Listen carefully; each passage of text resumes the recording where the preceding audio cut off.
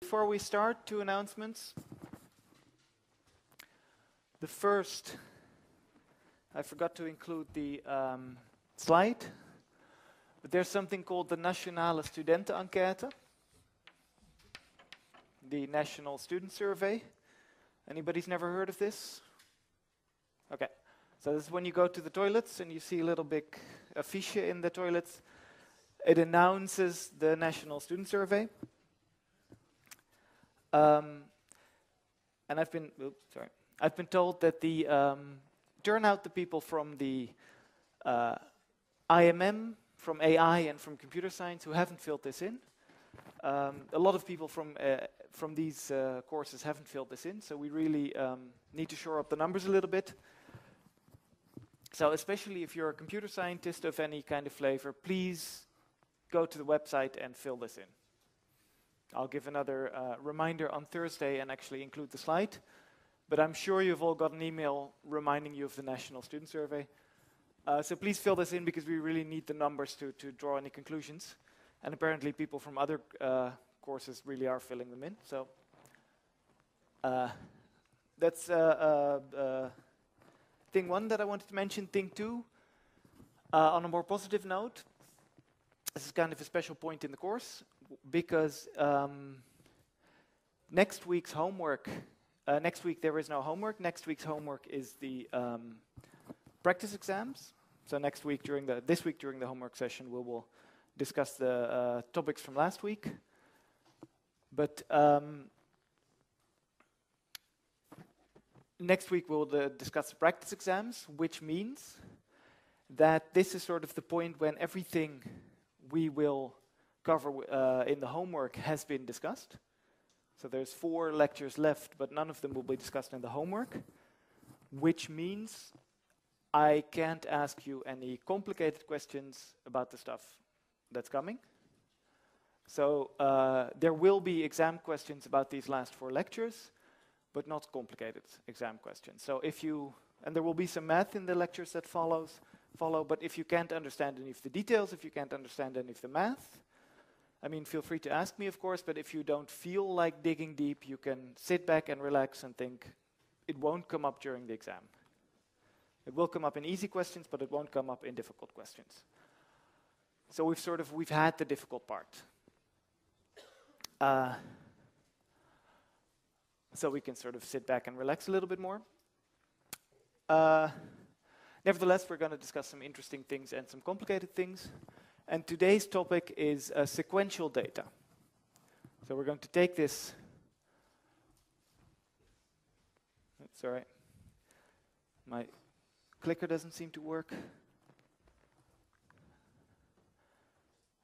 One second.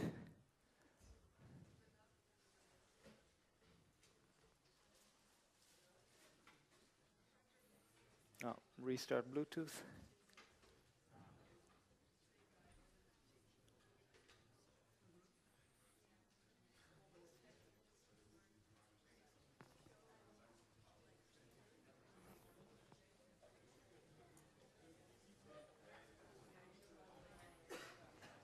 There we go. Okay. Um,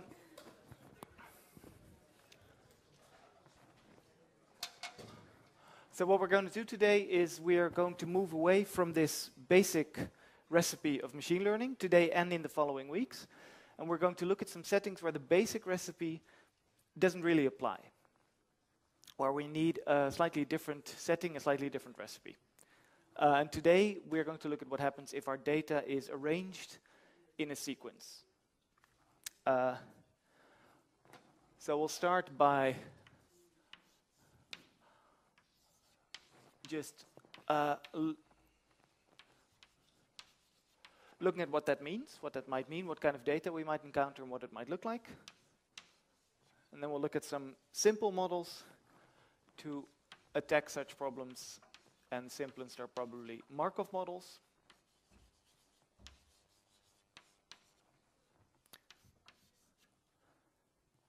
And then we'll look at embedding models, which is a slightly more complicated, more neural networky way to do it. That should be about where the break happens, who knows? And then we'll look at RNNs, which are a neural network, but a neural network that can um, sort of understand time, it can understand sequences. And then probably the most famous instance of a recurrent neural network is an LSTM, uh, which we'll discuss in depth. And then we'll finish up by looking at some ways to, uh, to apply LSTMs and to apply neural networks like this. Um, yeah, let's start with um, sequences. What kind of sequen sequential data might we run into, might we encounter, and what might that mean? Uh, so the simplest case is the one-dimensional sequence the, sorry, the sequence of one-dimensional numeric data. So just a sequence in time of numbers. Here, for instance, we have the number of sunspots observed per month, I think, or year, something like that. Um, which is just a sequence over time of numbers. Uh, which is something we might like to predict or analyze. We'll get into that later second while I disconnect the microphone. Uh, you still hear me? Yeah. And of course, you can also have multiple multiple dimensions. So for every point in time, you get, for instance, two numbers. Here I've plotted the uh, closing index of the Amsterdam exchange versus the FTSE 100, I think. Uh, and then you get a sort of two-dimensional time series. So you have one time dimensions and two value dimensions to features, uh, which gives you sort of uh, different things to predict. So you can predict one value from the other. You can predict the Amsterdam value from the FTSE value, or you can predict the Amsterdam value from the historic uh, Amsterdam values, stuff like that. So you can do lots of different things with this kind of data.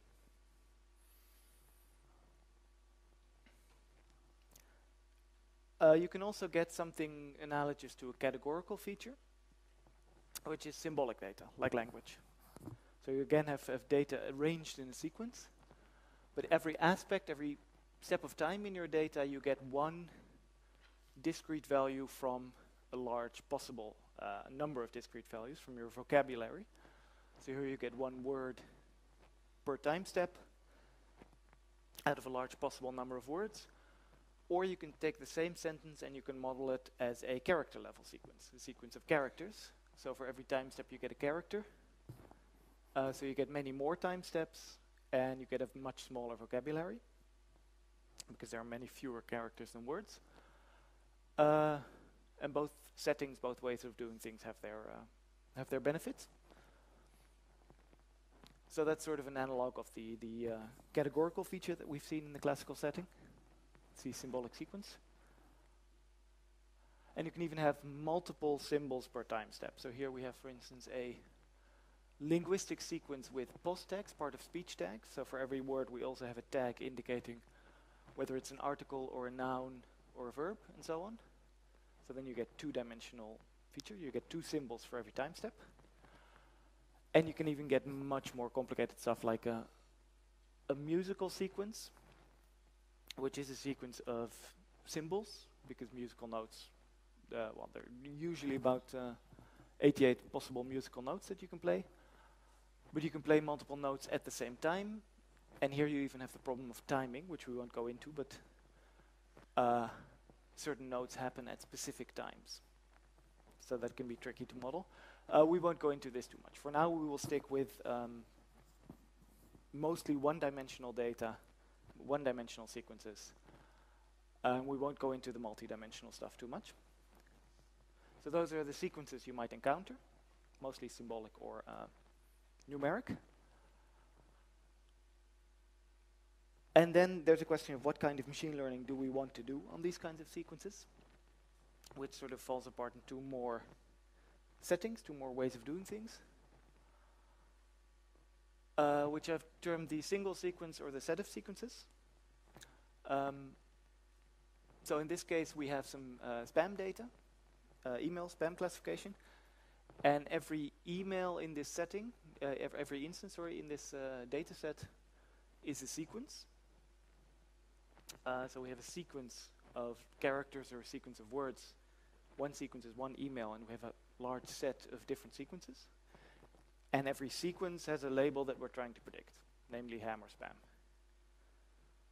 Which is very different from the setting here, where we have just one sequence, like uh, sunspots or uh, uh, stock market prices, and we're actually trying to predict the next value given the previous values. It's a very different type of setting. Um, so let's look at the single sequence uh, setting first. We can turn that into relatively something that's relatively close to our classical setting by simply looking at the uh, let's say this the, this here at the end is the current value we're trying to predict. We can extract some features for it by just looking at the previous n values, in this case the previous three values. So then we can turn our data, our single sequence, into a table like this, where the target value is just one particular value in our sequence, and the features are just the three preceding values. That's what we're trying to predict. Uh, which gives us a big table, like we're used to, big table of instances, three features, one target value, so it's a fairly straightforward reg regression problem, which we can feed to a typical regression learner like um, a linear regression, for instance, or a regression tree. And then once we get out of our training data, once we get some test data, or we use this in production, we just record the last three values that we've observed. And when we want to predict the next value, we just feed those last three values to our regression model and predict the next value. So that's a sort of very simple, very straightforward way of uh, predicting the value of a sequence by just translating it to this classical setting, training a model, and uh, using that to predict. The drawback here is that, um,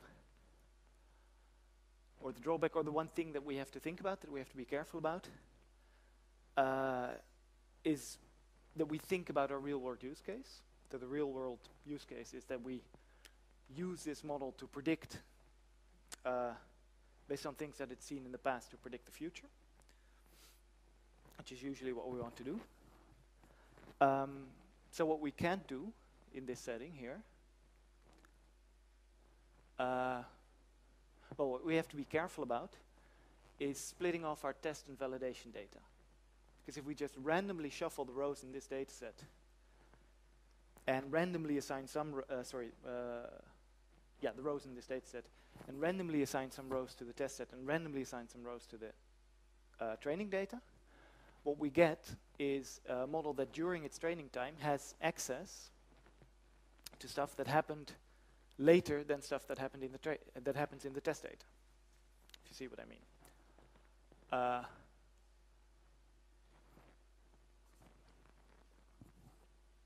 and the same goes for the validation data. So that's something you don't want because it might be um, because that's something that doesn't happen in production. In production, you only have access to training examples to these rows that happened in the past because the future hasn't happened yet. Uh, so that's what you want to replicate with your test set, with your test and your training split, and with your validation and your training split. So what you should do is something called walk forward validation. It looks like this. If we so we keep our data set ordered in time, according to time. So all these rows they are ordered and we don't shuffle them and we split at one point in time. So everything after that point in time becomes our test set, and everything before becomes our training data. And then if we want to do multiple validation runs, if we want to do something sort of uh, synonymous with cross-validation, we basically pick some point in time and we take a small slice of our training data, maybe just one instance or a couple of instances, and everything before that becomes our training data and everything after becomes our validation data. We train on the training data, we test on the validation data, and we get some error. And we walk forward the validation data, constantly training on everything that happened before that. And then we average over all the different values we've, we've, we've observed. And then we can make sure that we're always testing on data that happened later, that happened after our training data. And then once, come, once we've done all our hyperparameter selection and everything we want to do on the validation data, and it comes time to test on our test data, we do the same within our test data. So we either we just do one training pass on, so we once predict all the test data. We train once on all the training data and then just predict all the test data. Or if we want to do sort of more up to the minute predictions, we can retrain on bits of our test data, but we always have to train on stuff that happened before the specific thing that we're testing on. That's called walk forward validation. And these kinds of things are important when you sort of start deviating from the basic mechanism, from the basic recipe of machine learning. Uh, it's important to uh, take these things into account. So that's sequential data. Um, yeah, so you can do this kind of feature extraction and then just run a normal model on your uh, on your test data. Uh, sorry, um, turn it into a, a, a data set for your basic machine learning algorithm. Uh, but you have to be careful about validation and about training. And for the rest of the lecture, we are going to try to um, define some models that are a little bit closer to consuming sequences as sequences, that sort of understand what sequential data is and are designed to, to actually handle sequential data. And for most of the lecture, we'll stick to one, uh, one-dimensional symbolic sequences. And the extension to other forms of data is usually pretty trivial, so you can usually figure that out for yourself if you need it. So for now, we'll stick to symbolic sequences. And the first model we'll look at, this Markov model, is a probabilistic model. So we're going to model the sequence of a particular probability. So let's start with this uh, message, this sentence that you might um, find in an email. Congratulations, you have won a prize. And we'll do word level modeling, so we'll split it up into a sequence of words. And the way to model this as probability is usually to uh, make every word in the sentence a separate random variable. So we have six random variables in this case, W1 through 6. And these can each uh, take the value of a particular word in our vocabulary. So what is the, prob the probability that we're after is the probability that word 1 takes the value congratulations, word 2 takes the value you, and so on and so on. And we'll assume for the moment that all our sentences have the same length. So we know beforehand that our sentences, that our sentence has length 6. So this is the probability distribution that we want to define. And then later to fit to our data. Um, which is a um, joint probability distribution over six random variables. Which is difficult to define in one go, so we want to break it up. We want to sort of decompose it. And we're going to do that using this uh, rule that I warned you was going to be very useful. This uh, basically rewritten, rewriting the definition of the conditional entropy. So if we see some joint distribution, we can break it up into a conditional distribution and a marginal distribution over the conditional. And we're just going to apply this to our uh, this previous joint distribution a couple of times. That's called the chain rule. The result of that's called the chain rule of probability. So it's very important at this point that I disambiguate and say this chain rule has nothing to do with the other chain rule that we know. We know a chain rule of calculus. It's a completely different chain rule, no relation. Um, and we just take this kind of uh, joint probability of multiple random variables and we just apply the uh, previous rule that I showed you, this conditional rule, step by step. So here we take out, we make this a conditional on W1 and then we multiply by the uh, marginal distribution on W1 and then we do the same thing for W2. So what we see is that we get a conditional on W2 given W1. And then W2 is moved to the conditional. And then we do the same thing with W3. So we get this sequence, this product of conditional distributions where every W is conditioned on uh, the W's that precede it. And you can do this in any order. You don't have to do this in the order of the sequence. You can start with W1 and W, then W3 and then W2. But it makes sense, given the way language works, given the way sequences work, to condition every word, if this is a sentence and W are the words, to condition every word on the words that came before it. Because that's sort of how we process language as well, right? We uh, process language word by word. It comes to you in a sequence, one by one, and you sort of create an expectation over the next word given what you've heard already.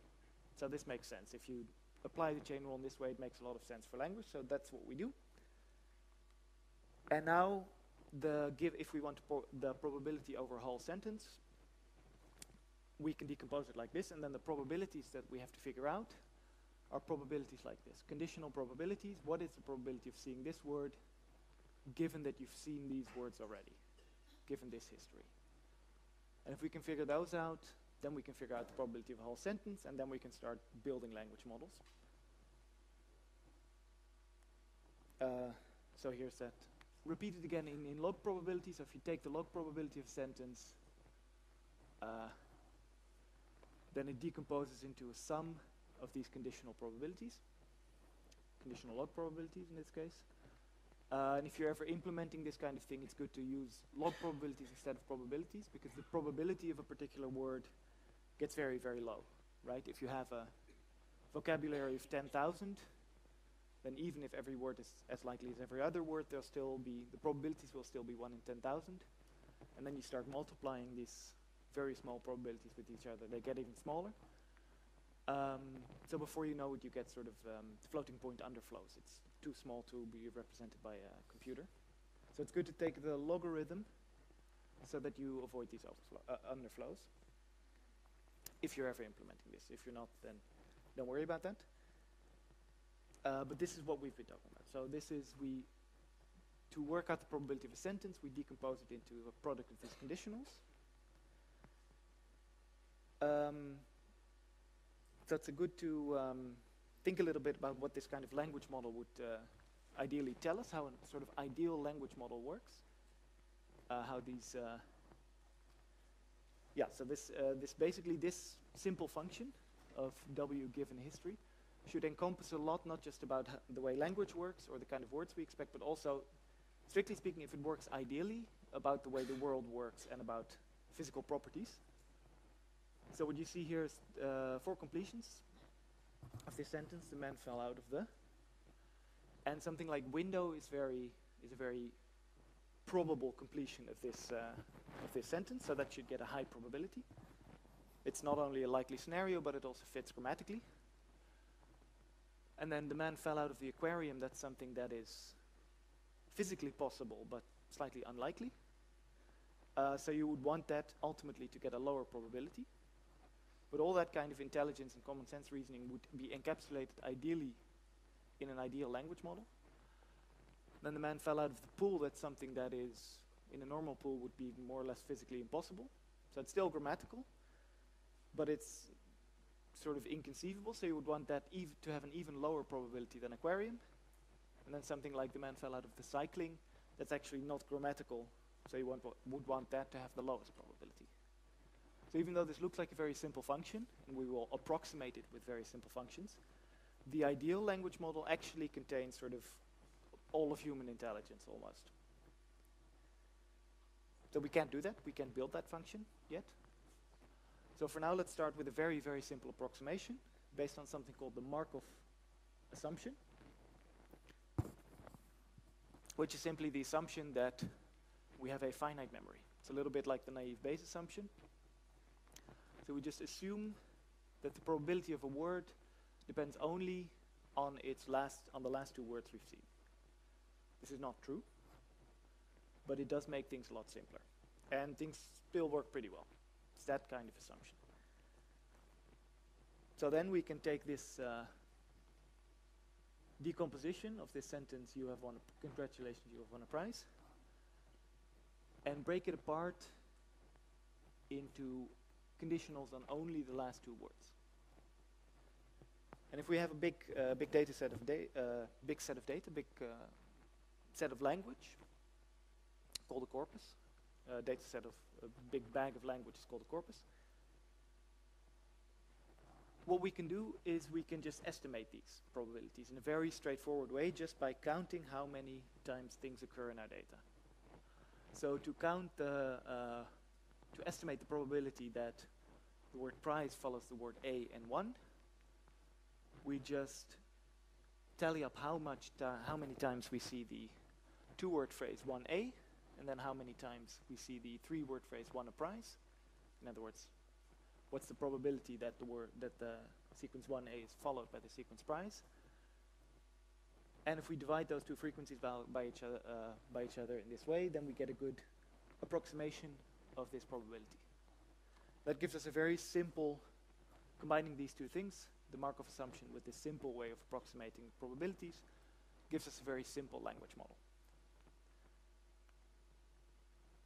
Um, which we can use to do different things. Uh, we'll start with uh, sequential sampling, which is a sort of interesting way to test what your language model is capable of. So let's assume we've tallied up all these frequencies. We have this Markov model. We start with a small seed sequence of a couple of uh, words. In the case of a Markov model, two words is enough. And then we, uh, through a, uh, an iterative loop, we sample, continuously sample the next word. So we have two words to start, or three words to start with. We compute the probability of the next word given those three words. We sample from that probability distribution. So we don't necessarily pick the word with the highest probability, we just sample it from that probability distribution. We append that word to the sequence, and we keep going and going and going. So if you do that with something like Shakespeare, it's a common uh, way to test it. So we train on a corpus of Shakespeare. Not train, we compute these frequencies on a corpus of Shakespeare and we do this, this sequential sampling on that, uh, on that the resulting probability distribution, you get something like this, which looks pretty convincing sort of at first sight. If you start read keep reading for a while, you see that the grammaticality sort of tails off after a few words. You still get interesting phrases like, is thy son to church, ready to love now, doth grace that I beseech your high majesty, which, I mean, if you're not a Shakespeare scholar, then you wouldn't be surprised to see that uh, as part of some a bit of Shakespeare. Uh, so that's a Markov model, and that's a way to generate text with a Markov model. And you can sort of inspect this to see how convincingly you've modeled your text. Even with this finite memory, you get a pretty convincing model of text. So once you're convinced about this and think, well, that's a pretty decent model, you can use this to do classification. And all you need to turn this into spam classification is to condition, take this probability and work out a conditional probability on the class. So what we're ultimately after is, given one of these email messages, what is the probability that it's spam? Which is what you see here. Given, congratulations, you've won a prize. Given that I see this in my email inbox, what is the probability that, that the email is spam? And what we do is we use this uh, approach of a Bayes classifier. We turn this into a gen, uh, we use a generative classifier. So instead of modeling the probability of spam given the words directly, we model the words using a language model given that there's uh, spam. And we multiply by the uh, prior probability of the class spam. The second one, this prior probability, we can just uh, infer from data, just see how many, how many spam emails uh, we get on average.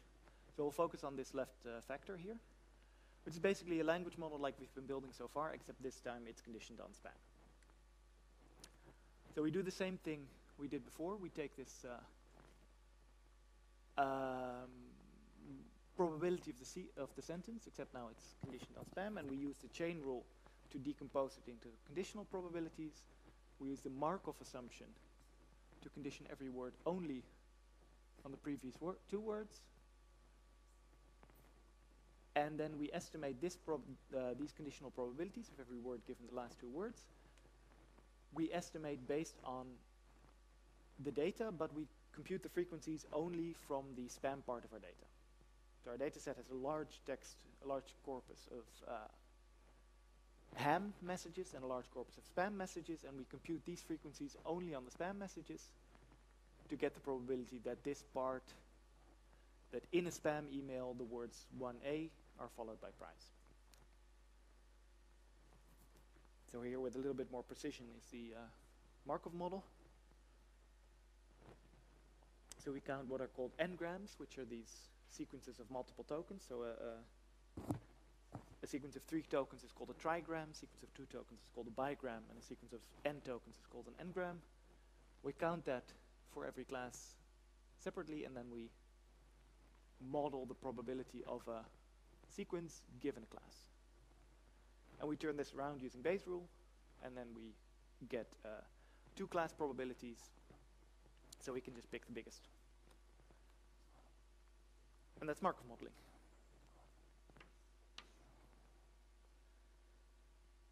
Uh, yeah, a couple of uh, technical things. Usually, uh, at least for spam, a zero order Markov model works just as well as a one, two, or three order Markov model. So with a zero order Markov model, you don't condition on anything. With one order Markov model, you condition on the last word, two order, on the last two words, and so on. So zero order Markov model works just as well as any other for spam, but for other tasks it might be different. Um, yeah, um, uh, sometimes you, uh, if you have a, a, classification model, it doesn't matter, but for other language models, it should, you should be aware that short documents or short sentences are vastly more likely than long sentences because you're multiplying these probabilities, so the longer the sentence goes, the, uh, as the sentence goes longer, the probability decays exponentially, so you need to correct for that if you're comparing different sentences. But If you're doing classification, you're just comparing the class for the same sentence, so then it doesn't matter. And same as before, you can apply Laplace smoothing, which would look like this, where uh, set V is your vocabulary. So uh, if you want to uh, add 1 to the frequency of every trigram, then you need to add uh, the cardinality of V cubed to the frequency of every bigram. So that's Markov models. Um, which work very well, but they have uh, one important problem, which is that they treat words as a kind of atomic symbols. They don't look at the fact that words, different words have similar meanings. So for instance here, if we see the same thing again, the man fell out of the pool. Uh, oh, that last thing say cycling, it doesn't matter. So let's say we have um, another word that fits grammatically, gazebo, which should, it's a noun, so it fits grammatically, so it should get a higher probability than cycling, but it just so happens that we've never seen it before.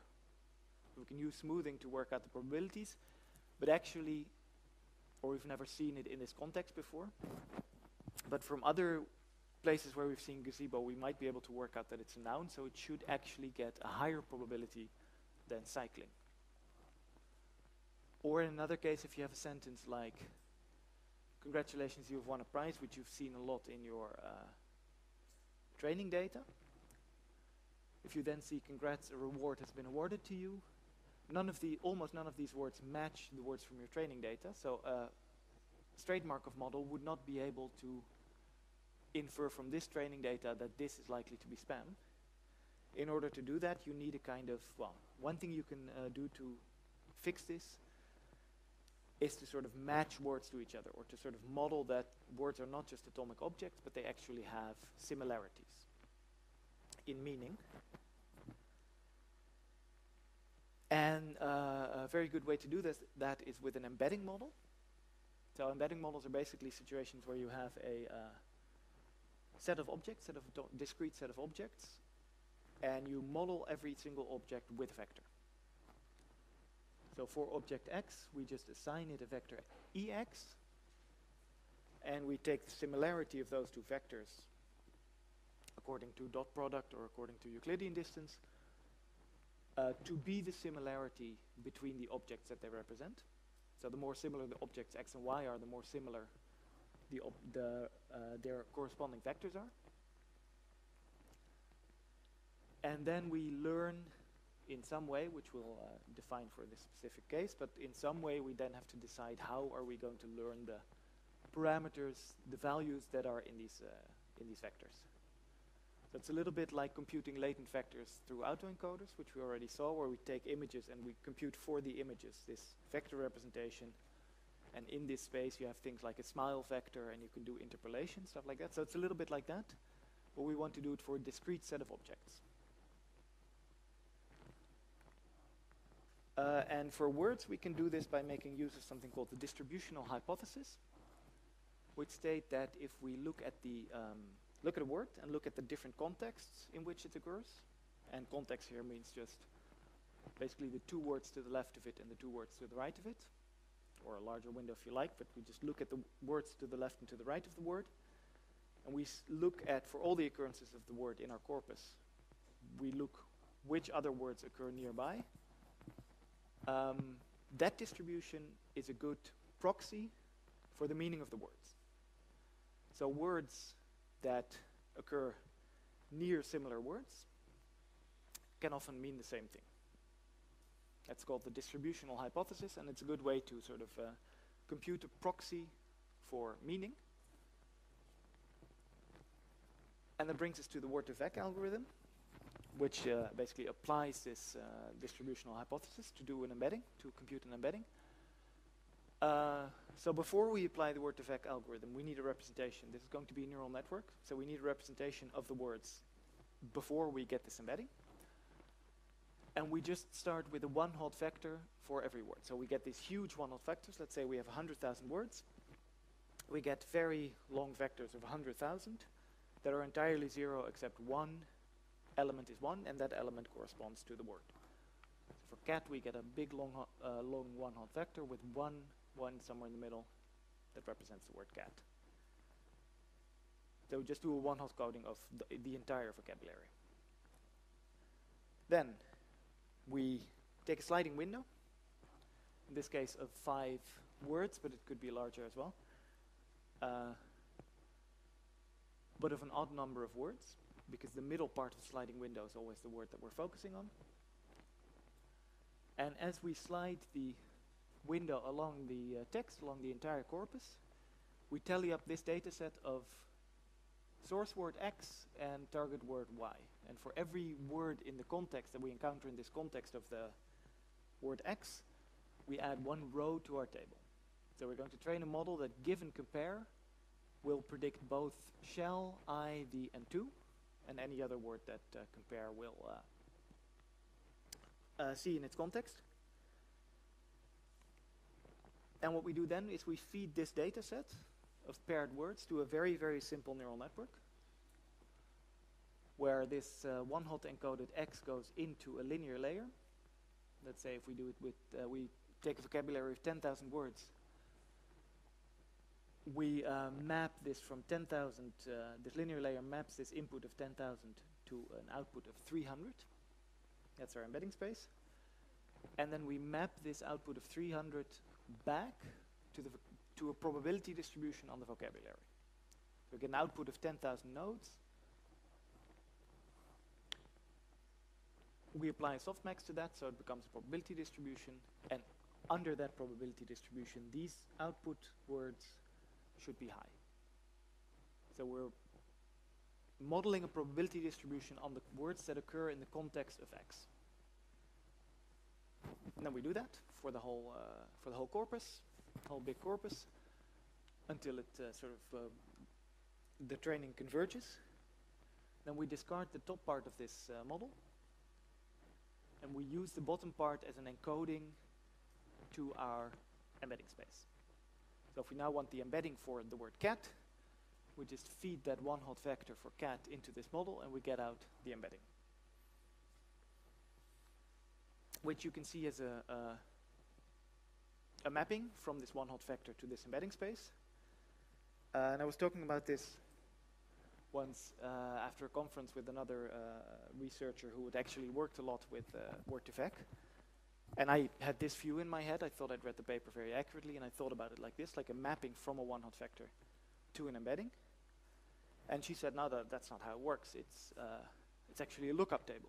You just learn the embeddings directly and you just look it up. So the, you say cat is the 120th word, so you just look up the 120th embedding vector in your table. So I was very confused because I read the paper multiple times and I thought I had it very accurately in my head. And then I went home and I looked it up and I realized, I figured out using uh, uh, some uh, uh, blog posts, that actually it's sort of the same thing. So if you multiply one hot vector, because if you multiply one hot vector, by a matrix, as we've done here, what you're doing is essentially selecting one of the columns of the matrix, which I knew, but it hadn't occurred to me at the time. So you can think of this as a mapping from some x to some embedding vector, but really what you're training is just these, this matrix here of this linear uh, mapping is just a big table of your embeddings, because the jth column in that uh, matrix is going to be the jth embedding vector. So it's really just a matter of perspective. Anyway, once you've done this, you get these embedding vectors, and from the embedding vectors, encoded in these embedding vectors somehow is this probability distribution on the context of the word. Then you can look at what these embedding vectors do, what they mean, and there's a, here's a very uh, famous example of, of, one of the things you can do. Doesn't always work, but uh, it, it, works in, uh, in some specific cases, including this one. So if you look at the embedding vector for woman, and you subtract the embedding vector for man, you get a kind of direction in your embedding space in which things become more feminine. So the direction between king and queen, or the direction between, so uh, this is the vector we are uh, computing here by subtracting man from woman, so we get that vector. And it turns out that the vector between uncle and aunt, or between king and queen, is roughly the same. Which means that you can compute that vector and add it to a male word, like king. And the place where you end up, you can sort of see for that place which embedding in your, um, in your corpus is the closest to that, and that will be the embedding for queen. So you get this kind of smile vector type thing, this the type layout, but for words instead of images.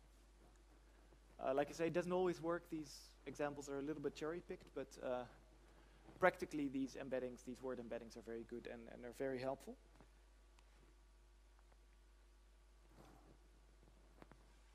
Uh, yeah, so uh, distances and directions specifically reflect semantic meaning uh, pretty well.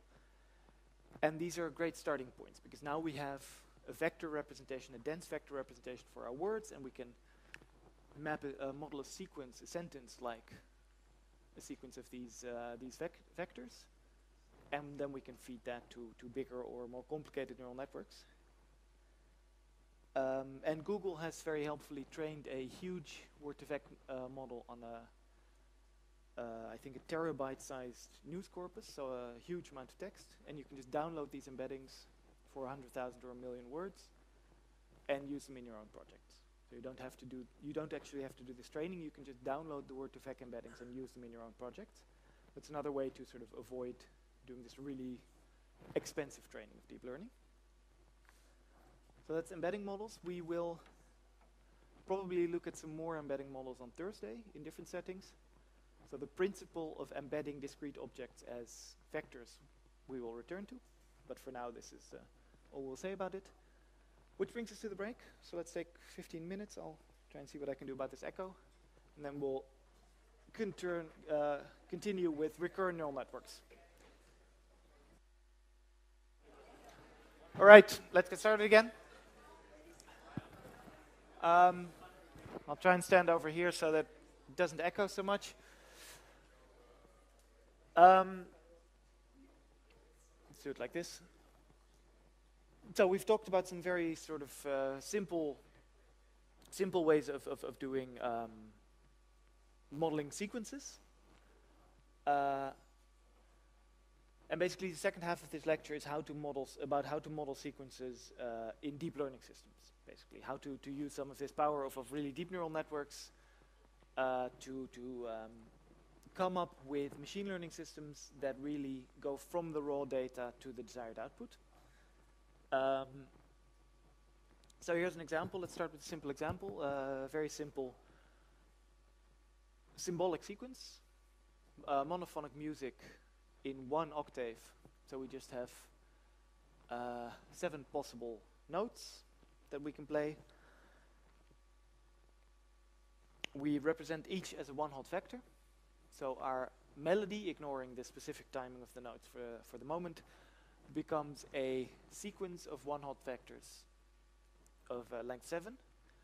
So basically we can represent our sequence as a matrix of two, uh, two axes, two dimensions, and one matrix is which note we're playing, and the other uh, matrix is the uh, time. And then our whole data set, if we have multiple of these sequences, of these very simple bits of music, our whole data set looks oh, uh, like this. So our whole data set is a bunch of matrices, but the sequences might have different lengths.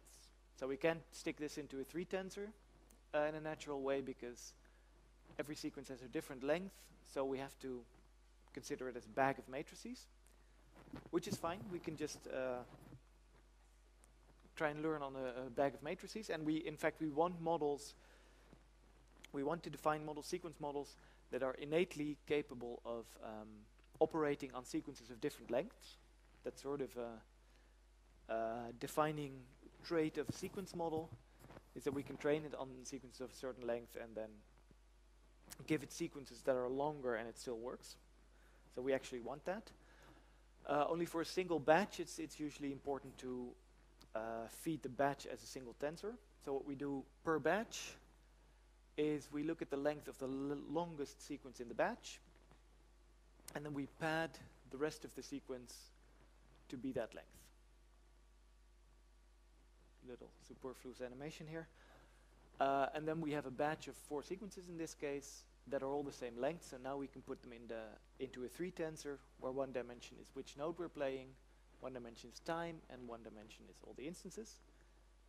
Uh, and per batch we can change the length. So usually what you do is you sort your data by length uh, and then group it into batches so that all batches have roughly the same length. And then you pad them out to make them exactly the same length. So now we have some data that we can feed to a neural network because it's a tensor. So we can use this deep learning idea of feeding tensors to neural networks. So now the question is how do we model time? How do we model sequences? How do we model time with neural networks? And um, one of the earliest approaches of doing that, uh, earliest approaches, one of the earliest ways of doing that, is to give your neural network a recurrent connection which here you see a very simple uh, example. I think this might be an Elman network or a Jordan network. I forget the uh, exact um, terminology. That doesn't really matter. Basically, this is a neural network where we have a we have our standard feed-forward network, except appended to the input is uh, are some uh, orange nodes called H here, which take the um, yeah, which have a recurrent connection, basically a connection that allows a cycle in the network to the hidden layer. So basically, as we compute the network forward from the bottom, the hidden layer of the previous, sorry, uh, as we compute the new hidden layer, the previous hidden layer gets copied to these input nodes. So we have a kind of cycle. And in order to um, uh, basically, uh, our this kind of notation is going to get very complicated very soon as we start getting into LSTM, so we have to simplify our visual shorthand a little bit. So this is the, the uh, visual language for this lecture. We have a vector, that's our input, and we represent a vector as a sort of rectangular bar. And a vector can be used to compute another vector by multiplying it by a weight matrix. And adding a bias usually, but we'll forget about the bias. We'll take the bias as read. We'll assume that whenever there's a weight matrix, there's also a bias vector. And that results in a, a hidden layer, and the hidden layer then feeds into the output. So this is a standard two-layer feed-forward network in this compressed uh, representation. Uh, oh yeah, and I should also mention that everything that follows the specific exposition is largely taken from this blog post by Chris Olah, which is also part of the required reading. Um, so now we can represent a recurrent neural network by including this recurrent connection in our uh, diagram.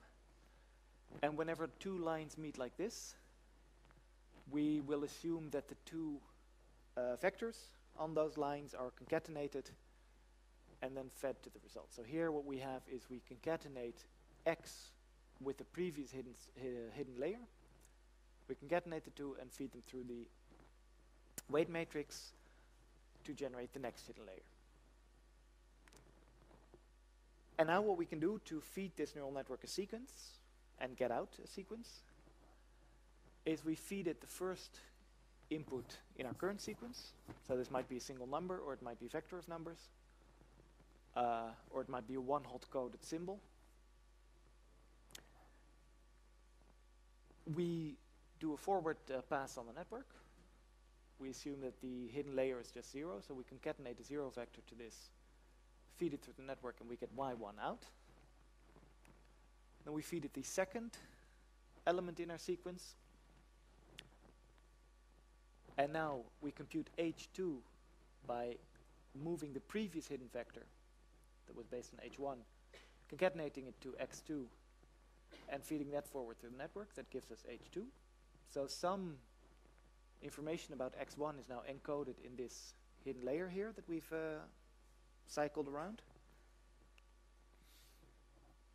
And then for x3 we do the same thing. So now uh, we compute h3 by cycling around h2 on the uh, on the recurrent connection, concatenating it to x3, feeding it through the weights, and we get h3. And now h3 potentially contains information, depending on what the weights are, about both x3, x2, and x1, because all of those have sort of traveled through this recurrent connection. And we use that to produce y3. So y3 whatever our uh, output y3 is can depend not only on x3 but also on x2 and x1. And in that sense, it's a sequence model. So usually you train these networks, if you're training just the recurrent neural networks, you train it in a sequence-to-sequence -sequence setting. You have an input sequence and an output sequence. That's our basic setting. And uh, we train these neural networks. That's, of course, the difficult part. How do we train these neural networks? Uh, through something called backpropagation through time. Because, uh, if I just go back one second, uh, the standard backpropagation approach doesn't really apply here. Because we get some error here. Y3 should have some different value, so it's an error, and we try and backpropagate it. We can backpropagate it this way down to x3. But how do we backpropagate through this recurrent layer? Because by now, the hidden layer has changed. So how do we backpropagate sort of backwards into the past if the past, if this uh, layer has been overwritten? And what we do in order to, uh, well, the, the, easiest way to visualize this, uh, the solution is to unroll the network. So instead of shifting the sequence, we keep the sequence as is. We just feed the sequence in one big go and we feed separate copies of the network to each time step in the sequence. And now the recurrent network doesn't go back onto itself. The recurrent, uh, the recurrent connection doesn't go back onto the same network. It goes from the previous copy of the network to the next copy of the network. So this is basically a kind of unrolling over time of the recurrent neural network,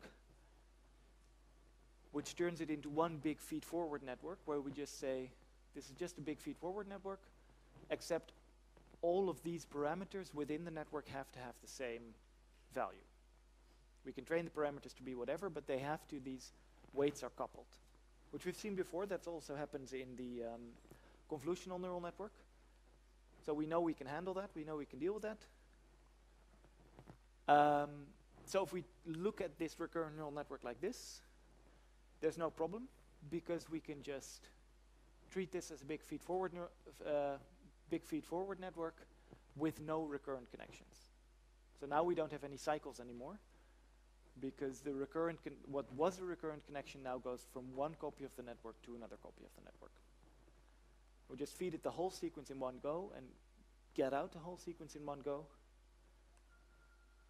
And now if we have a error signal here, starting from, let's say, uh, Y6, we compare the output sequence to a target sequence.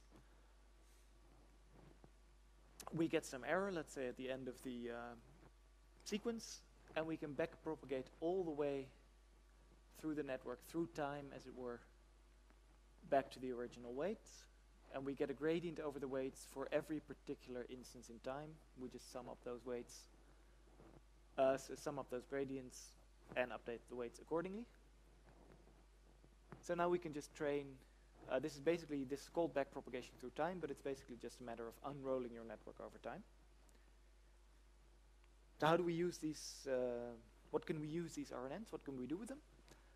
Uh, well, obviously we can do sequence-to-sequence -sequence learning. right? If our dataset consists of an input sequence that should be mapped to a particular output sequence, then that's called sequence-to-sequence learning, and we just feed it the input sequence, observe the difference between the output and the desired output, and backpropagate that. Which is, for instance, if you want to translate English to French, French, uh, you might model that as a sequence-to-sequence problem, or if you want to transpose music, you might model that as a sequence-to-sequence problem. You can also do sequence-to-label, like this spam classification. So your sequence goes in and a label comes out. Or you can do label-to-sequence, or nothing-to-sequence, which is basically generating language, like this uh, sequential generation that we saw earlier. So sequence-to-sequence is pretty straightforward. We have an input sequence and we have a target sequence, and we just compute the difference and backpropagate it. If we want to do sequence to label, one thing we can do is just ignore all the outputs except the last one and map this to a label. Use a single neural network to just, uh, a fully connected layer to just map this to a label or just interpret this as the label and then just backpropagate, compute an error only on the last element of the sequence and backpropagate that. Um, this is not ideal because if the first part of your input sequence is very useful to predicting the label, like in a spam email, if an email starts with congratulations, it might, it's very likely to be a spam email. In order for the network to learn that, there's a very long distance between the loss and the thing it has to learn. So the gradient has to travel a long time.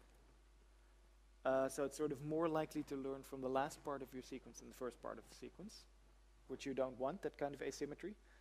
So it's more common to take the whole output of the whole sequence, average it, and make that the label. Because now the network at any point can sort of output, after reading the first word, I'm pretty sure it's, an e it's a spam email, um, and it has sort of more space, and at the end of the sequence it can also, it can sort of change its mind. Um, but you do need to do something very simple here, like averaging, because you can't do a fully connected layer on top of this because you need to be able to um, deal with variable sequence length. So if the length of this sequence changes, your model still needs to be able to adapt. And if your model is just a recurrent neural network, you can just add some more copies of the network. You can just average the output of a longer sequence. You can do all that. But if this last step is a fully connected network and you suddenly want to stretch it over a longer sequence, you will suddenly have more parameters. So that doesn't work. So whenever you do try and draw diagrams like this, you need to remember that the sequence length is variable. So whatever you do needs to work for different types of, uh, different lengths of sequences. Uh, labeled sequence you can do in two ways.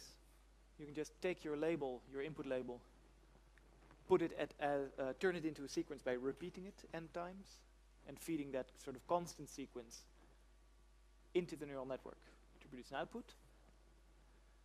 Uh, but we have another input that we can use in the recurrent neural network, which is the hidden state at x0. We said this was 0 at, uh, at the beginning, but it's sort of up to us how we initialize the hidden state. So we can also initialize that with our input and just give the network zero vectors, a sequence of zero vectors, and then just train it to generate a sequence. Uh, this is useful, uh, what we'll see later, this can be useful if you want to use the input for something else, but you also want to give it the sequence input for something else, but you also want to give it some label to condition on. Then you sort of have two inputs for your recurrent neural network, so that can be quite useful. So those are different things you can do with recurrent neural networks. The problem is if you do it like this, it doesn't work very well. Because recurrent neural networks, they uh, remember a little bit, they have a pretty decent memory, but they tend to forget things pretty fast.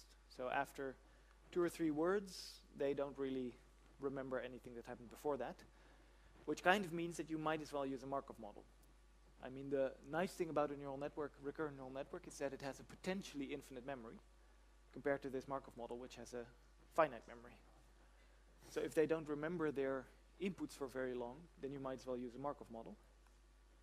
Here's an example of why it can be important to remember your input. You have something like I was born in France, blah, blah, blah, blah, blah, blah, blah, blah. when I move to Amsterdam, so I'm fluent in. Can be completed with different ways. Well, a Markov model is going to know that nobody's fluent in aquarium, but a Markov model will not tell you whether French or Dutch are more likely. And uh, a model with very limited memory is also not going going to be able to tell you that.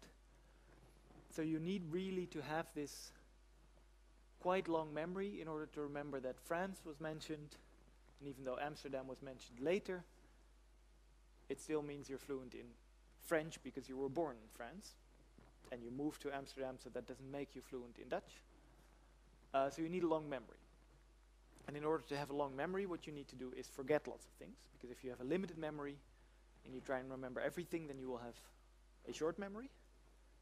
Whereas if you have a limited memory and you're very selective in the things you remember, then you can remember things for a long time. So if you somehow recognize once this word occurs that it might be uh, relevant for the future and you remember it, and you forget everything in between because you have this important thing in your memory, then you can have a long memory. So sort of uh, counterintuitively, the secret to remembering things for a long time is forgetting other things which is where the LSTM comes in, which is called a long short-term memory. It's basically a recurrent neural network that is built by uh, several learnable gates which decide which things we want to remember and which things we want to forget.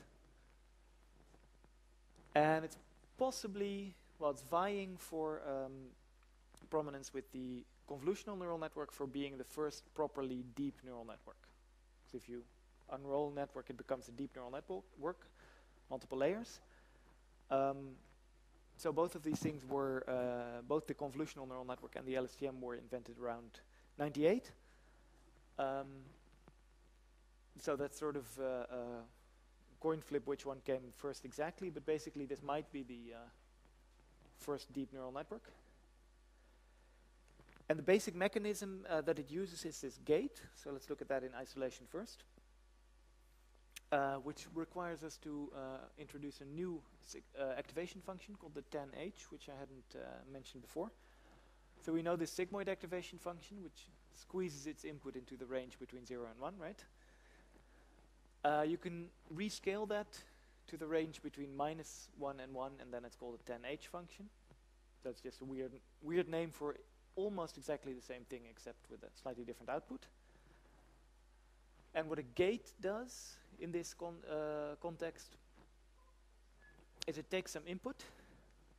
From that input, it computes two vectors. One vector that are the, uh, oh yeah, and the output of the gate, let me say that first. So the output of the gate is a vector that we're going to add to something, right? We're going to, we have some memory in the LSTM, and the output of this gate is sort of decides uh, how much of the input we're going to add to our memory. That's how you can think of it. So that's why I've called it an additive vector. So the input first goes through uh, two roads. First, uh, one on the left is a transformation which is passed through a sigmoid function, so you get a vector of values between 0 and 1 and value on the right is passed through a tanh function, so you get values between 1 and minus 1. And you can think of this as the value on the right being the things we would like to add to the um, yeah to the uh, to the memory, and the value on the left selects which part of that we actually get to add. So the value on the left is a sort of holds us back and can uh, might dial back parts of our vector uh, in order to eliminate that and to retain what's in the memory. Because if you look at the values here, these are values between 0 and 1. So if we do an element-wise multiplication, if this sigmoid gives us all values near 0, then whatever happens on the right, we just get a vector that is all small values, so we are not adding very much. And if it's all values near 1, then we just get this uh, activation, and then we're adding lots and lots of stuff about the input. Um, and of course, it's a element-wise sigmoid, so it can do for every element in the vector, it can sort of decide how much of this do I want to add to the memory, or how much do, of this do I uh, want to cancel out and forget. Uh, so that's a kind of, uh, yeah, that's a gate. And the LSTM is basically a recurrent neural network built up of these gates. So without looking at what happens inside, let's look at the outside first. It's basically a recurrent neural network built up of cells. The cells are the guts of the recurrent neural network. It uh, takes an input, of course, at every time step. It provides an output at every time step. And between time step, it has two recurrent connections. So from one time step to the next, it uh, passes along two things. A value c, which is called the cell state, and a value y, which is equal to the output. So it passes the output both as an output and to the next cell in the, um, in the time step, in the sequence. Um, before we look at what the cell looks like, what happens inside the cell, a little bit more visual notation, visual shorthand. So um, like I already said, if two lines meet, we concatenate the vectors represented by those two lines. If there's a W on a line, we apply weights to a vector, so we transform the vector by a linear transformation. Then we have a sigmoid activation, which we, which we draw like this, and a tanh activation, which is the same but purple. And then there are element-wise operations like plus and uh, times, which just take two vectors and element-wise add them or element-wise multiply them, which look like this. So then this is the inside of the LSTM, which looks a bit complicated, but I'll try to go through it step by step. Um, so let's start here. This is sort of the spine or the conveyor belt of the LSTM. Basically, we have a, a the hidden state of the previous cell, which is manipulated by whatever happens below, which we haven't looked at, um, but only element-wise. So there's something multiplied by it and something added to it, and then that the result of that is passed to the next cell. So if we set this to, uh, to 1 and this to 0, if we multiply 1 by it and add 0 to it, then nothing happens to it. We just pass on the value we get in. That's why it's called the, it's, uh, it's helpful to think of it as a conveyor belt. We just take whatever we get and we pass it along. Maybe we manipulate it a little bit, but if nothing happens, uh, then it's just passed along. There's no activation, there's no sigmoid or no tanh, which means uh, that um, the gradient doesn't decay. That's a very important reason why LSTMs work so well. There's no vanishing gradient along this thing because everything from very long ago can just, if so long as no cell decides to multiply anything or add anything, the value is just passed along this conveyor belt over the whole sequence. But sometimes we do want to look at the input and sometimes we do want to make the input manipulate our memory. So that happens in two places. Uh, this is the forget gate. So here we look at the input and the output of the previous two um, uh, of the previous step. Sorry, the current input and the previous output. We concatenate them, pass them through a weight vector, and sigmoid them. So we get a vector of values between 0 and 1. And that is multiplied by the memory. So this is saying for instance, oh, we've got something interesting coming up, so we need to remove some stuff from our memory. We need to forget some stuff. We need to reduce the activations in our memory. In that case, you get lots of zeros or things near zero here. Uh, or if it's uh, just a stop word, if it's just, just the word the, nothing very interesting is happening, so output loads of, loads of ones. So we don't actually change what's in the memory.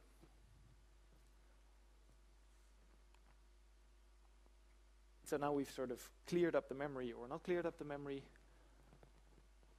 Now we need to decide which parts of the input we want to uh, actually add to the memory.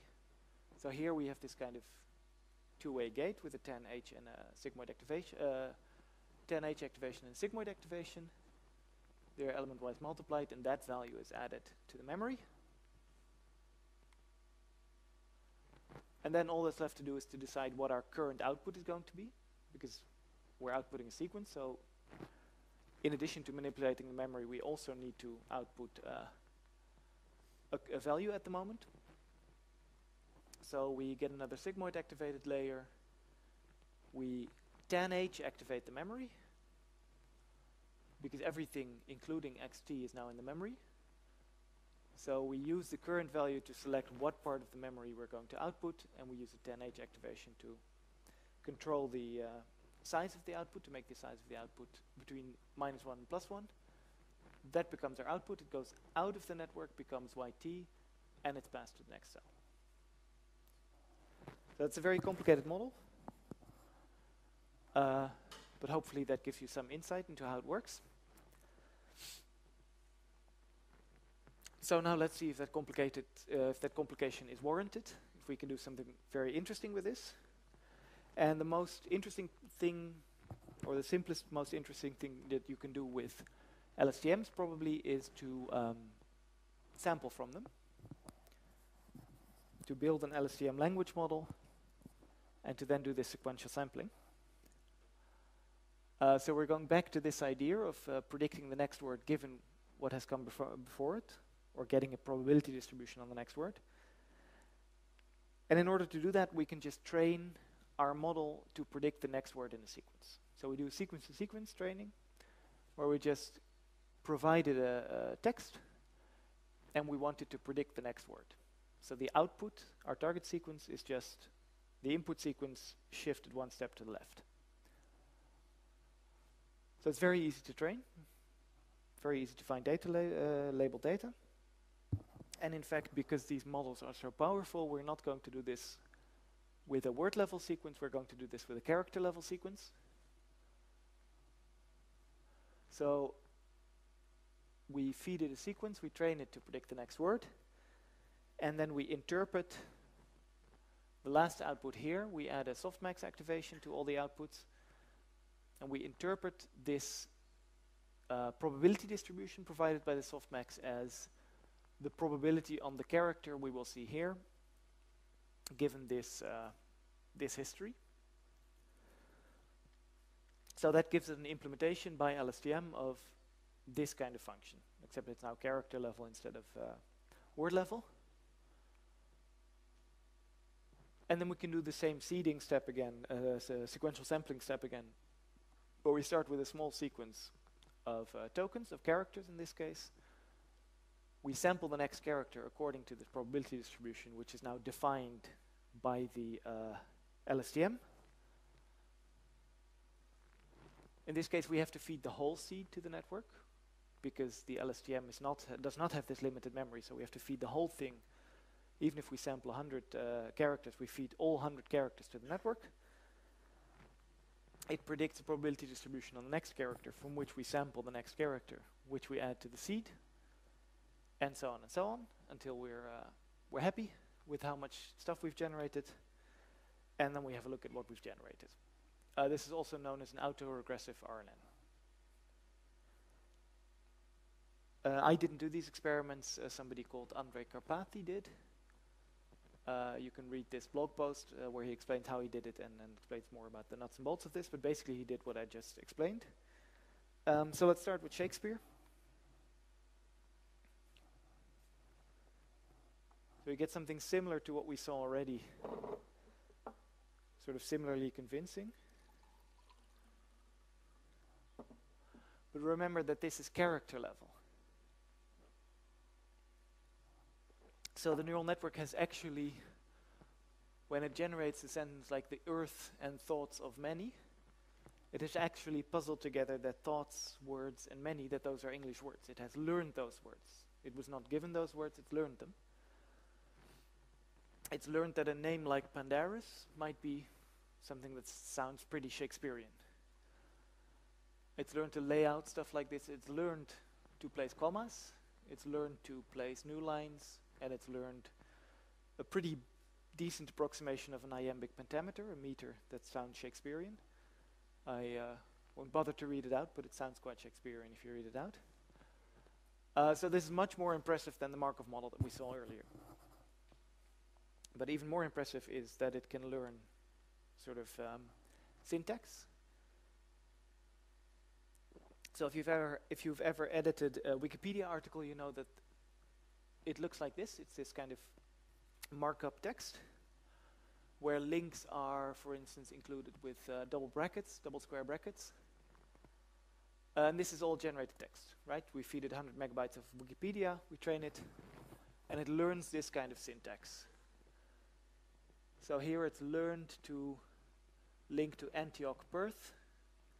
It's not where Antioch is.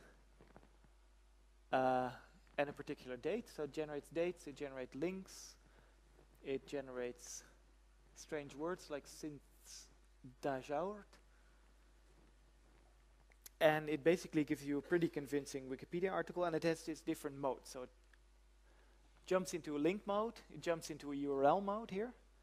Note that it's hallucinating a URL. If you click this link, you don't go to, to a Yahoo page. You go to a page that doesn't exist, but it looks, it has the structure of a, uh, of a known URL. And occasionally it even goes into HTML mode, so it suddenly starts, because Wikipedia pages have bits of HTML embedded. So then it starts into this, well, it's not HTML, sorry, it's XML. It starts generating XML.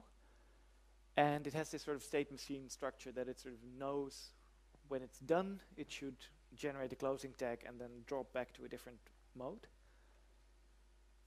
Uh, finally, LaTeX, which I found most impressive because even I have trouble generating LaTeX that compiles. So it's quite impressive that the machine can do it. I have to say, um, there were some mistakes. So they did manually fix some mistakes after they generated it, but then it compiled and then it generated all this kind of weird looking, impressive looking math, uh, which I probably couldn't tell apart from a, a very high level mathematics paper. Oh yeah, and uh, probably the most famous example, at least a few years ago, was Deep Drumpf, where somebody trained in LSTM to generate character level uh, Donald Trump tweets. And you see, I think in square brackets, I don't see the seed in these ones. I don't know if the account is still active, but this was sort of good fun for a while. Um, so um, that's more or less LSTMs. Just a couple more examples of how to apply these things and how to build these things into larger networks, because we're doing deep learning now, so we can chain different networks to do different things. For instance, we can, uh, going back to the last deep learning lecture, we can train a generator model, right? We saw if we sample a random uh, vector, normally distributed vector, and we feed it to a neural network, we get a random output, which uh, can be quite nice and have a nice uh, complicated structure. So we can do that with a, an LSTM as well.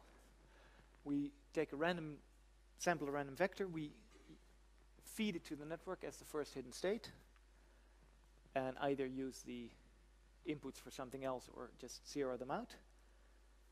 And then we can use, for instance, an autoencoder or a vari variational autoencoder to train that generator.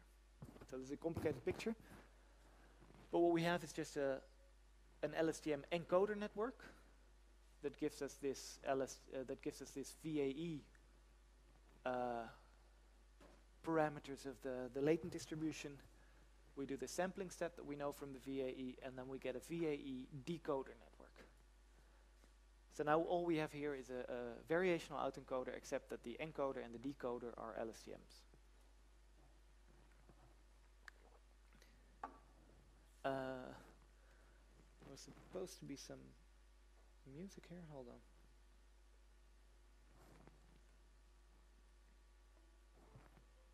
No, it's only playing through the laptop.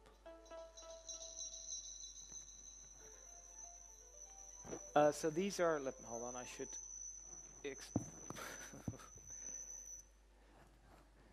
I should explain this before I um, before I let you um, before I um, play it. Basically, what they did, they uh, the music VAE. They trained a neural network on very short snippets of MIDI music. Uh, so that these MIDI snippets would have a, a, a latent, would get a latent representation. And then the uh, example that I tried to show you, uh, or, or uh, play to you, was an interpolation. So we start with this uh, first snippet that you heard, we end with the second snippet that you heard, And what you hear in between are all the snippets in between in the latent space. So you get a sort of one bar of music that slowly transforms from one snippet of music to the other snippet of music. See if I can get this to play without freaking out the audio. Um, doesn't seem like it.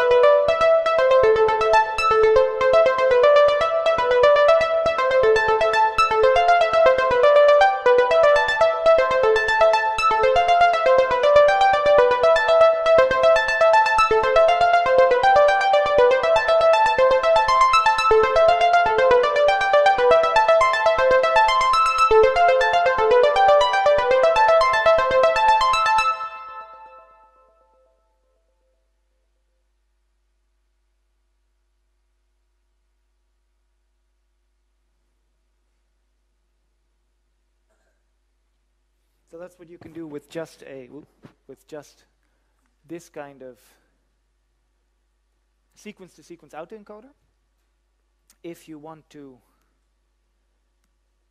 do something more interesting, like uh, modeling language, you will need something called uh, teacher forcing, where you basically combine this sequential sampling, or this, this predictive language model, you combine it with an autoencoder. So here we do two things. We have this autoencoder, which gives us a latent representation of the input. But then the decoder also gets access to the input itself. So it's predicting the next character. Uh, let's uh, point here to the O. It's predicting the O here, given both the latent representation of the sequence and the characters that preceded it. So you're sort of doing the best of both worlds here you're uh, doing a predictive language model and a latent representation. It's called teacher forcing. And here is uh, a very nice model that uses this teacher forcing, which is a sketch RNN. Uh, it's called sketch RNN. It's basically, it models um, sketches, human sketches. Google basically got millions and millions of people, you may have contributed to this yourself, to very quickly do a sketch of a particular subject, like a cat or a an owl. We have what we have here: owls and cats. And then somebody uh, trained a big variational um, sequence-to-sequence autoencoder on this with teacher forcing, which led to this latent space. So these are all generated sketches, not drawn by humans, but drawn by the neural network.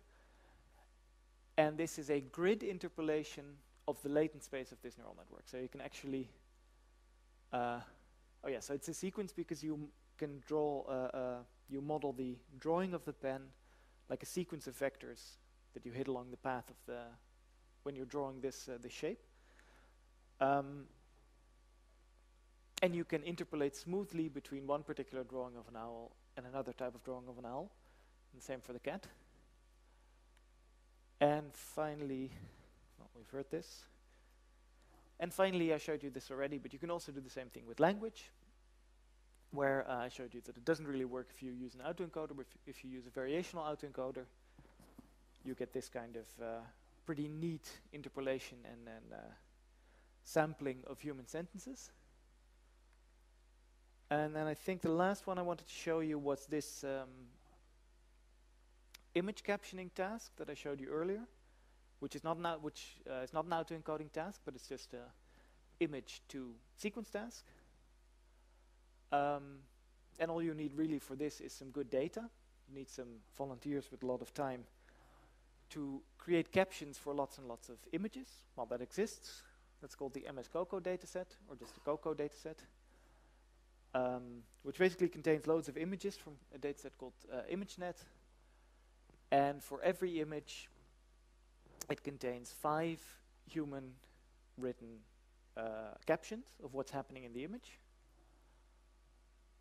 And also lots of other things like bounding boxes and then uh, annotations of what's happening where, but we don't use that. So we just use the raw image and we use the uh, linguistic output. And what we can do as a very simple approach to this uh, model is just download one of these pre-trained image classification models, take off the classification layer and just, uh, oops, sorry, map to a latent space. Take that mapping, feed it to an LSTM, and train the LSTM end-to-end -to, produce the caption. So we just uh, feed in an image, whatever comes out, you compare it to one of these captions for the image, uh, and you backpropagate. And you just train and train and train and train. You train the whole thing end to end. And you should, uh, what I've seen from students, you should get pretty good results already. I mean, if you want real state of the art, you need something called an attention mechanism. We won't go into that today, but this is something you could do if you have a re relatively high-end laptop or a, a decent uh, gaming machine, this is something you could do on your own machine, uh, and you could get to work pretty quickly. And then you can do your own image captioning. So, final notes and summary. Uh, we talked about LSTMs. If you want to do word-level LSTMs, then you have these sort of huge input vectors, because you, if you do just plain one-hot coding, you get an input vector of 10,000 or 100,000. Um, so what you can do is stick an embedding layer below your LSTM that embeds your words to these embedding vectors, and then you have a relatively small vectors to feed to your network. You can use pre-trained word2vec embeddings, or you could just uh, train the embeddings end-to-end -end together with the neural network.